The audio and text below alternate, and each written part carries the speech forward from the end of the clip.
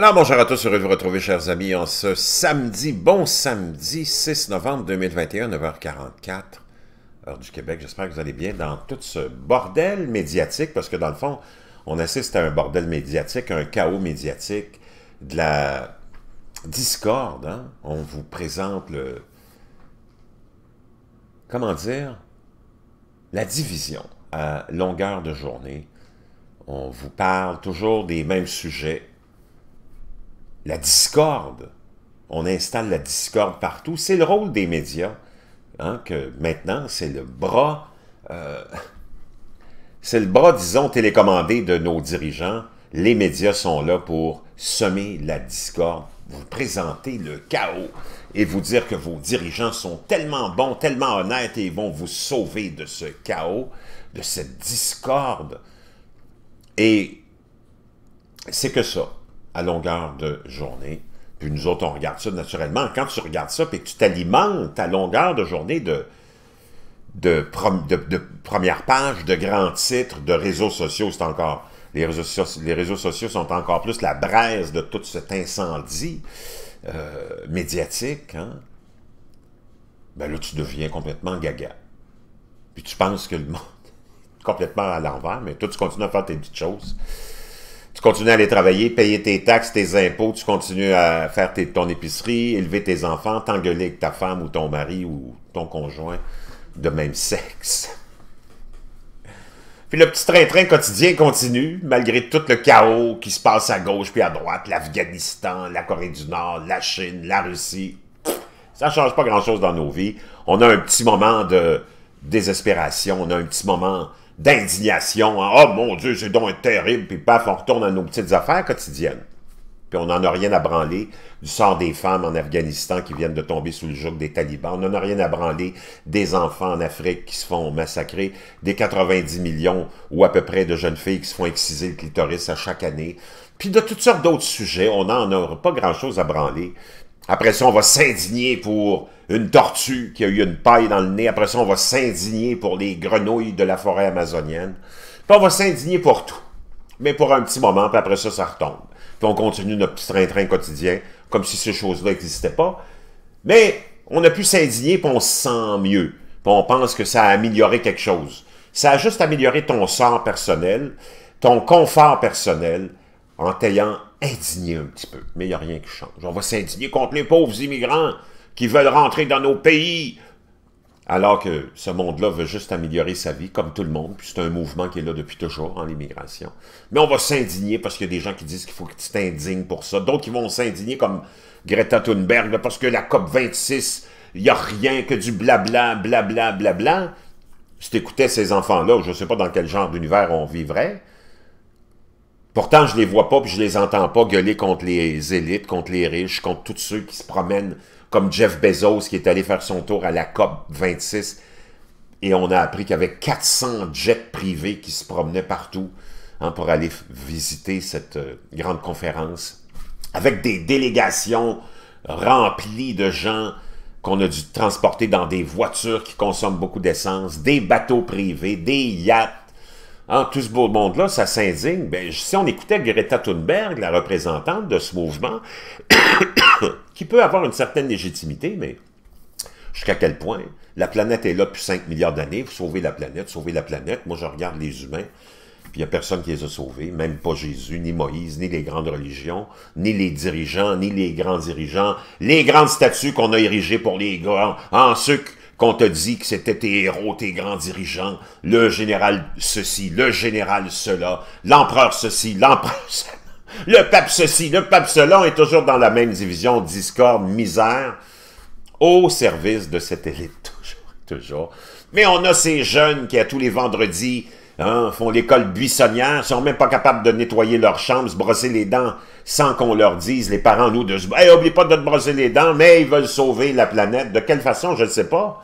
Ça a l'air d'être, encore une fois, le petit peuple puis la masse qui va payer pour sauver une planète qui n'a pas besoin d'être sauvée, qui est là depuis 5 milliards d'années. Je ne sais pas si tu as vu l'immensité de, de l'univers, mais je pense pas que la planète a vraiment besoin d'être sauvée. La planète va être là. Hein? On s'indigne, par exemple, du plastique dans le Pacifique, c'est vrai, hein, il y a du plastique dans le Pacifique, mais la bonne nouvelle, c'est que tout ça est regroupé au même endroit. Puis on te le dit, oh, il y a une petite île de plastique qui s'est formée. Mais qu'est-ce qu'attendent pour aller le nettoyer? Tout est là. Au lieu de s'indigner, on devrait dire, mon Dieu, c'est incroyable, la nature a fait un bon travail. Ils nous ont tous regroupé de plastique au même endroit. Facile à nettoyer. Mais qu'est-ce qu'on attend? C'est toujours comme ça, et ça sera toujours comme ça, chers amis. Ils sont pas là pour ton bien-être, là. Moi, j'entends pas Greta Thunberg commencer d'abord à parler à ses parents, parce que Greta Thunberg a un père cinéaste, une mère euh, chanteuse d'opéra, qui devrait probablement hein, faire des grandes tournées, puis qui se promène en avion pour faire la promotion de son film, l'autre de ses spectacles de chanteuse d'opéra. Ils font comment? Ils font ça en vélo, à pied, en trottinette? Je ne sais pas. Toutes les élites, hein? C'est bien beau de dire, il faut sauver la planète, ça veut dire quoi? On va aller taxer les petits, on va aller leur imposer notre agenda. C'est bien beau vouloir sauver la planète, mais c'est toujours les mêmes qui la sauvent, hein? avec les, leur transpiration, leur sang, leurs impôts, leurs taxes, leur argent. Pendant ce temps-là, penses-tu vraiment? Puis moi, je te pose la question sérieusement, puis moi, je n'ai rien contre quoi que ce soit. Je fais juste exposer ce que tu vois partout dans les réseaux sociaux, dans les médias, les nouvelles, les sujets qui sont toujours présentés, les mêmes, surtout en Europe. On a cette obsession à vouloir vraiment amener le monde dans je ne sais pas quel genre d'univers, là, hein, parce que tout ce mouvement-là de sauver la planète, ça a origine de l'Europe. Les Européens sont des euh, drôles de créatures. Qu'est-ce qu'on va faire? Comment on va vivre? Comment tu vas... Penses-tu vraiment que Jeff Bezos, que toute ton élite artistique, hein, qui aime ça faire la promotion de ses disques, de ses films, de ses livres, Comment ils vont fonctionner? D'abord, ton téléphone portable, ça a une grosse empreinte écologique, peut-être la plus grande. L'Internet, les ordinateurs, même les voitures électriques, une très grande empreinte environnementale immense. Sauf qu'il n'y a pas d'émissions de CO2 et de pollution. Ça, c'est déjà quelque chose de gagné. Moi, je n'ai rien contre le fait que je dois me promener en voiture électrique ou quoi que ce soit. Ça ne change rien dans ma vie. Mais de penser que ton élite artistique, politique, médiatique, économique, ton élite de... Comment on pourrait les appeler? De lobbyistes, hein? comme c'est tous des lobbies, ça, comme Greta Thunberg et tous les autres, les syndicats, les grandes trompettes, les grands mégaphones. Penses-tu que ces gens-là, demain matin, vont commencer à vivre dans des espaces restreints, sans luxure, sans bateau, sans jet privé, sans une collection de voitures, sans garde du corps? Tu ils sont tous contre les armes à feu, mais ils ont tous des gardes du corps, armés jusqu'aux dents. Hein? Ils veulent bannir les armes à feu. Moi, j'en ai rien à cirer des armes à feu, mais je vais juste te montrer les contradictions partout de ton élite tous ces politiciens qui veulent bannir les armes à feu partout, oui, mais eux autres, ils sont entourés de gardes du corps parce qu'ils savent qu'ils en ont besoin. Alors, eux ont besoin de sécurité, mais toi, tu ne peux pas avoir de sécurité. C'est comme ça que tu dois comprendre ça. Puis entre vous puis moi, moi, j'en ai rien à cirer, mais je fais juste te démontrer comment ça se passe dans le, monde médiatique au niveau de, du contrôle de la population, puis comment on envoie les messages puis les agendas. Puis il n'y a jamais personne dans aucune conférence de presse qui va arriver puis poser une question à une élite. Bon, Monsieur le Président, Mademoiselle Madonna, ou je comprends votre point de vue, on aime bien vos idées, mais êtes-vous prête à abandonner toutes vos richesses, vos châteaux, vos maisons partout, dans tous les plus beaux coins du monde, qui consomment beaucoup d'énergie? Êtes-vous prête à voyager à pied? Pour faire la promotion de vos spectacles? Êtes-vous prête à faire des spectacles en plein air, dans des champs, sans électricité, sans tous les grands, grands, les grands moyens technologiques pour les effets spéciaux, et ainsi de suite? Êtes-vous prête à voyager à pied, juste avec un microphone, l'essentiel d'un petit band, puis donner votre spectacle dans un champ de maïs, par exemple, et vivre dans le cabanon juste en arrière du champ de maïs, parce que faut vraiment sauver la planète. Il y a une urgence. Puis nous autres, on gaspille pas trop, on est tous cassés comme des clous, c'est pas nous qui avons des maisons énergivores. On coupe le chauffage parce qu'on n'est même plus capable de se chauffer. On coupe dans parce qu'on est tous cassés comme des clous. C'est pas nous autres qui se promenons dans les jets privés, dans les bateaux de croisière, dans ses yachts, dans toutes ces, euh, dans toutes ces euh, marinas, ces places luxueuses en Europe, en toutes ces belles, euh, belles petites villes où toute l'élite se retrouve, avec des châteaux, hein, avec des yachts, vraiment, on parle de millions de dollars. Moi, j'ai jamais entendu quelqu'un en pleine conférence de presse demander à un Jeff Bezos, Monsieur Bezos, on aime beaucoup votre, vos, arguments, votre, votre plan pour sauver la planète, mais est-ce que vous êtes prêt à tout abandonner votre richesse? Gardez votre argent en banque, mais toutes vos maisons, vos palaces partout, vos collections de bateaux, de voitures, de jets privés, abandonnez ça demain matin parce qu'il y a une urgence, c'est vous-même qui nous le dites. Puis, achetez-vous un vélo. Vous pouvez même acheter un petit vélo électrique si vous n'êtes pas assez en forme pour pédaler toute la journée. Donner l'exemple, ça ne vous intéresse peut-être pas de donner l'exemple. On est là pour donner des leçons de moralité, parce qu'on va rester en contrôle, puis nous autres, on va se permettre naturellement. La reine d'Angleterre qui donne des leçons de moralité, ses enfants qui donnent des leçons de moralité, sont-ils prêts à vivre dans la simplicité? Abandonner vraiment, pas comme juste leur titre symboliquement pour faire un petit coup de publicité, hein, mais euh, comme euh, le prince et sa princesse Meghan, mais vraiment abandonner vos richesses votre luxure, parce qu'il faut vraiment faire quelque chose. Il y a une urgence incroyable. Puis nous, on ne vit pas dans la luxure, là. On est en train de compter les morceaux de pain qu'on va manger. Donc, voyez-vous, tout ça, ça revient toujours à la même chose. Il y avait l'urgence de l'enfer il y a 3000 ans avec Moïse. Oh, c'est important que vous respectiez. Oh, là, soudainement, après des millions, puis, disons, l'humain est là depuis 250 000 ans, je ne sais pas ce que Dieu a fait là-dedans, là.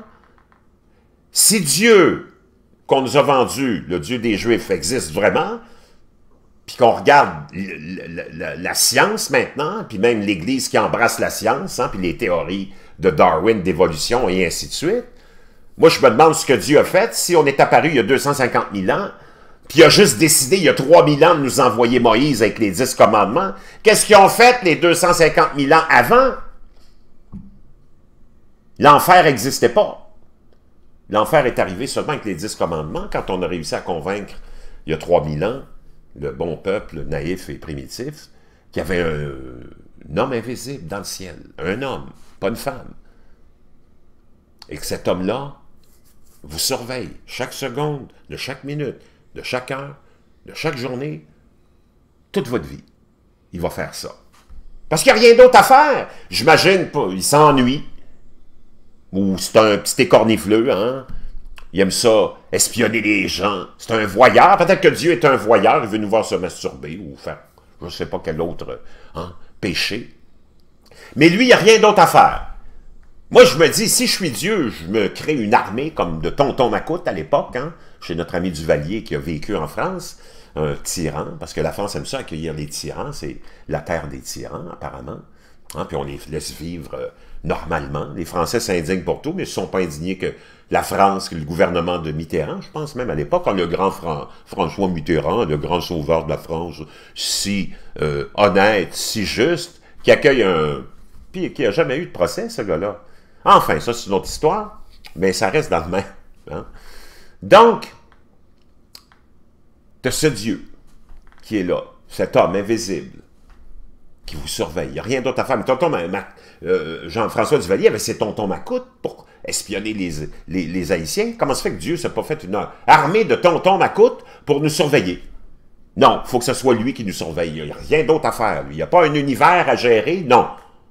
Il n'y aurait pas une élite à aller mater. Non, surtout pas, parce que les dix commandements, ça s'adresse à vous puis moi encore là, parce que l'élite qui a créé cette idée, de Dieu et cette idée de commandement des dix pour nous contrôler, eux autres, ils se sont exclus de cette liste-là parce qu'ils volent. ils volent et ils volent. Et eux, ils volent. C'est leur métier de voler. D'ailleurs, c'est comme ça qu'ils s'enrichissent.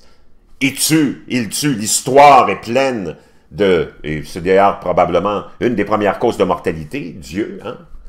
Ils tuent au nom de Dieu les hindous, les juifs, les musulmans, les chrétiens depuis des milliers d'années qui s'entretuent. Parce que Dieu leur avait dit que c'était une bonne idée de s'entretuer l'épée de Dieu, la vengeance est mienne, le sang des moutons.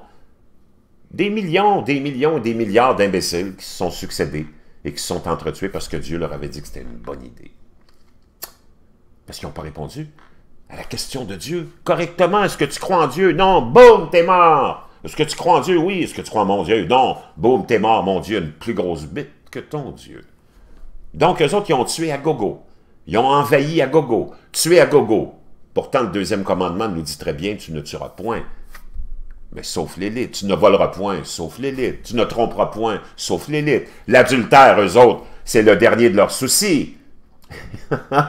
c'est leur vie née composée que d'adultère et d'adultère. Donc, chers amis, c'est comme ça que ça se passe dans le temps des fêtes. Les fêtes s'en viennent, on va oublier tout ça. On va, on s'indignera pas, sauf si on nous empêche de nous souhaiter joyeux Noël. Et ainsi de suite. Chers amis, plus ça change, plus c'est pareil. Donc, ces élites-là, jamais, jamais tu les verras renoncer. Et ils renonceront jamais, parce que c'est comme ça. Donc, avant qu'on ait créé cette idée de Dieu, Dieu s'est réveillé il y a 3000 ans. Qu'est-ce qu'il a fait avant? Qu'est-ce a fait avant? Et comment les humains ont réussi à vivre sans les dix commandements?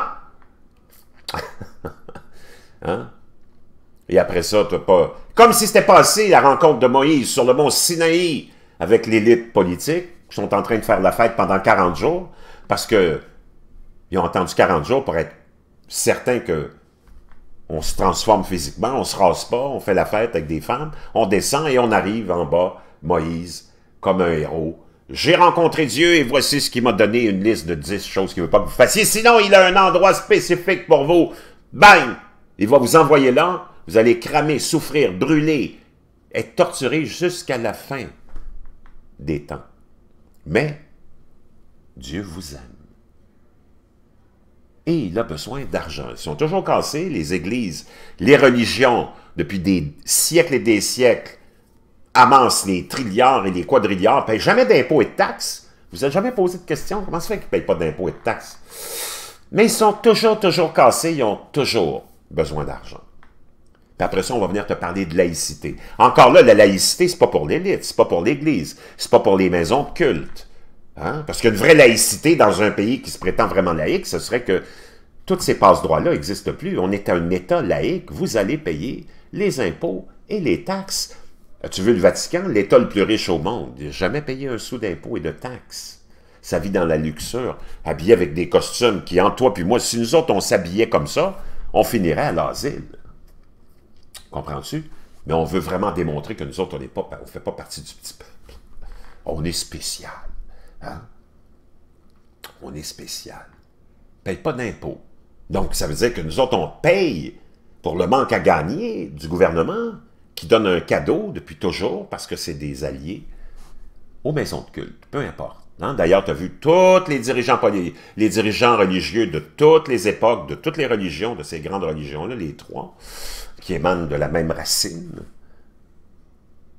ça n'a jamais critiqué quelque politicien que ce soit. Ils sont ensemble parce que les deux ont besoin les uns des autres. Je vous l'ai déjà expliqué. Et c'est comme ça depuis toujours, et ça sera comme ça pour toujours. Donc, moi je veux bien tout ça, mais c'est juste pour vous démontrer comment c'est tellement du n'importe quoi. Puis que la seule chose qu'on aurait à faire pour vraiment qu'il y ait un changement, un vrai changement, parce qu'il n'y en a jamais eu de changement, c'est des apparences de changement. On vit dans l'illusion. C'est que nous, le petit peuple, mais ça n'arrivera jamais, parce qu'on est tous manipulés par nos parents qui nous transmettent toute cette bullshit-là, puis toi, tu continues à l'avaler parce que ça vient de tes parents. Il y a seulement vraiment euh, peut-être 500 000 à 1 million d'individus sur la Terre, ou peut-être plus, qui sont vraiment conscients de toute cette bullshit-là c'est que nous, on rejette toutes ces... C'est D'abord, toi, tu critiques l'élite, tu plains de l'élite, tu dénonces l'élite, mais tu, tu, crois en toute leur histoire de bullshit. L'histoire de la religion puis de Dieu, ça a été créé par l'élite de l'époque. Toi, tu y crois. Donc, tu peux pas rejeter, critiquer l'élite, puis croire l'histoire qu'ils te raconte faut que tu rejettes tout d'un bloc, sinon, il n'y a rien qui change. Mais on aime ça. Nous autres, on n'aime pas ça vraiment faire l'effort. On est dans le demi-effort. On aime ça, le demi-effort toujours. On rejette tout ça. Mais en même temps, tu rejettes tout le système. Le vrai, là, tu veux un vrai changement, tu es vraiment écœuré. Mais il n'y a personne qui a les couilles de faire ça. Comme il n'y a personne qui a les couilles de dire à Bezos et à, toutes les autres élites, hey, tu veux vraiment qu'on sauve la planète, es-tu prêt à renoncer à tout? Non, il n'y en a pas d'urgence. Parce que ça, c'est un peu comme la référence avec l'enfer de l'époque. Il fallait vraiment donner un choc pour que l'histoire pogne, comme un bon jello. Hein? Oh, l'enfer, boum, bang, Dieu, bang, l'enfer, bang, ok, on croit, poup, on est tous soumis à la volonté de cet homme invisible, qui nous a même envoyé son fils.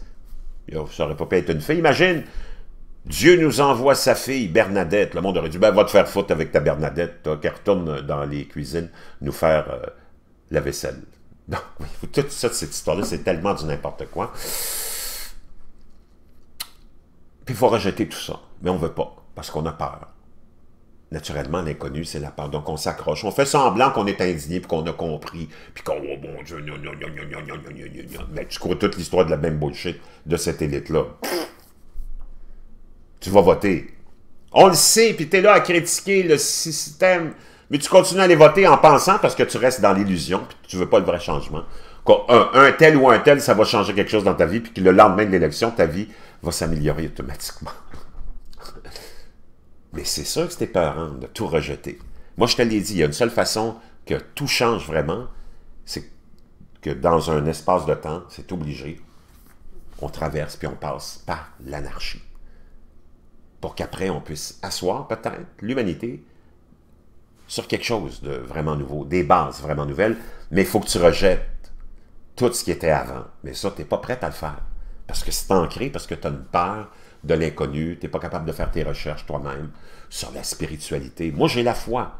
Moi, quand je rejette ça, je rejette tout ce qui est de cette gamique, de ce racket que l'élite a organisé pour nous, il y a 3000 ans. Parce qu'il n'y a rien qui tient debout, même quand tu es assis. Et moi, j'ai tout rejeté ça, mais j'ai la foi. Tu as juste besoin d'avoir la, as la foi. Tu n'as pas besoin de quoi que ce soit d'autre. Rien d'autre. Si tu as juste la foi, oui, j'ai la foi, tu fonces, bang, tout est réglé. Il n'y a plus de guerre, il n'y a plus de division, parce que tu as la foi. Puis ça s'arrête là. La foi dans quoi? C'est pas important. J'ai la foi. Donc, je reviens souvent là-dessus, mais c'est essentiel. Si on est dans ce qu'on est, c'est de notre faute à nous.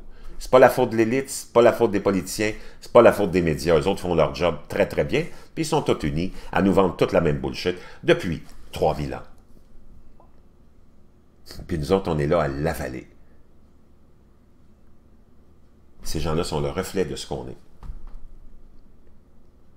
Si tu des citoyens égoïstes, paresseux, insouciants, ignorants, tu vas avoir le même genre de politiciens paresseux, insouciants, ignorant et égoïste. Donc, la solution est entre nos mains. Bon samedi quand même.